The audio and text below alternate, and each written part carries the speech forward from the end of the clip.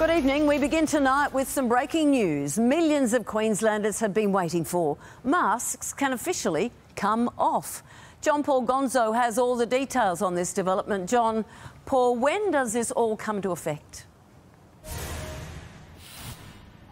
As of right now, Sandra, the latest vaccine data from the federal government has just come into the newsroom, and I can confirm that Queensland has now hit that magic milestone 80.1% first dose vaccination. As the Premier promised, it now means the mask mandate is gone. You are no longer required to carry a face covering with you or wear one at work, school, or at places like cafes, hairdressers, and shopping centres. It is still strongly recommended that you wear a mask at places you can't socially distance and on public transport. And of course, if you are travelling, you will have to wear one at the airport and on planes as part of those federal rules. Now, this mask mandate has been in force since June 29. For anyone counting at home, that is 135 days, if my maths is correct. Now, tonight we can say that the mask mandate has been lifted, uh, but there's no time to get complacent because Queensland has recorded more COVID cases.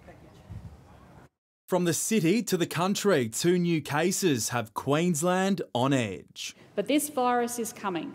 I need to keep you safe. But the horse may have already bolted. A 32 year old Pacific Pines man has tested positive. He was infectious for six days and has only had one dose of the vaccine. The case isn't linked to known clusters. So we need to make sure there are no other cases on the Gold Coast. He's now in hospital as contact tracers get to work. A Coomera chemist and Coles are exposure sites. The three family members who are close contacts uh, and one of those is a health worker. Those people have so far tested negative. Warwick has been given a wake up call too. An unvaccinated First Nations man in his early 20s connected to the Moree cluster was infectious for almost two weeks. He spent time at the RSL and Condamine Sports Club. Where there are communities with lower levels of vaccination coverage, it will rip through those communities. No need for panic or tougher restrictions just yet, but that could change in the next few days. If we see a large community outbreak in any of those areas, we would have to look at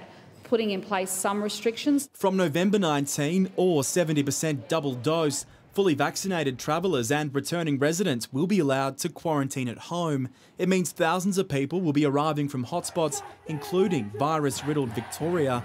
But that risk will allow families to be reunited, ending the divide. It's important we start moving towards that. If it's not at the 70 and 80% mark, when is it going to be? The Premier was in Cherbourg today, a community that's fallen victim to the botched rollout Hesitancy remains a real issue. Health teams now going door to door to administer vaccines. Do you think the government should have started to do that earlier, seeing as the vaccine's been available since March? Yeah, um, well, you know, it started, that's the main thing. Hopefully, it finishes in time. John Paul Gonzo for 10 News First.